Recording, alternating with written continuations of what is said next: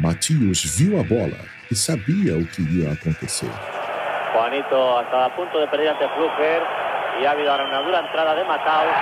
Ah, yendo y se ha formado esta trifulca con el pisotón de Juanito quando estava no. Foi uma expulsão instantânea, mas o alemão levou a pior. Y ahí está Lothar Mataus, que ha retirado el terreno de juego para ser asistido. Os jogadores do Real Madrid não podiam acreditar. A pisada de Juanito custou caro para eles.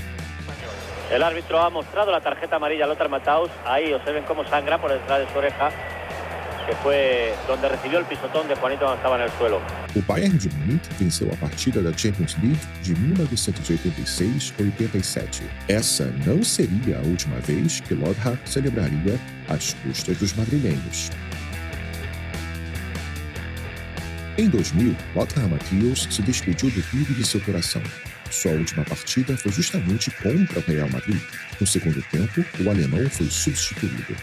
Lothar Matthäus verlässt als Bayern-Profi das Spielfeld. Riesenapplaus brandet auf. Die Zuschauer, die Fans erheben sich von ihren Plätzen. A partida terminou e o Bayern venceu o Madrid novamente. E Matthäus estava feliz, não só pela vitória, como também por isso.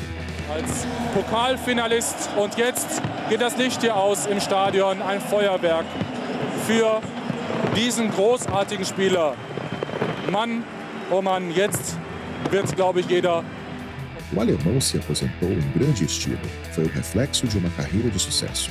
Ele jogou 12 temporadas no Bayern de Munique, ganhou a Bundesliga sete vezes, três vezes a Copa da Alemanha e uma vez a Copa da UEFA. Matthias jogou mais de 400 jogos com a camisa Bávara e foi duas vezes o jogador do ano na Alemanha. Mataus es un, fue y es un ídolo tanto en Bayern como en Alemania, porque reflejaba principalmente el arquetipo del clásico futbolista alemán. Era disciplinado, tenía carácter, fuerza mental y se movía y manejaba muy bien el valor. En esta misma línea, yo considero que su carrera, todo lo que logró, responde a, esto, a lo que es ser un líder en la cancha, Sem dúvida, ele é uma lenda do futebol alemão. Um jogador que sempre esteve lá. Da stimmt die Abstimmung noch nicht und jetzt könnte die Führung für Bayern München fallen durch Lothar Matthäus.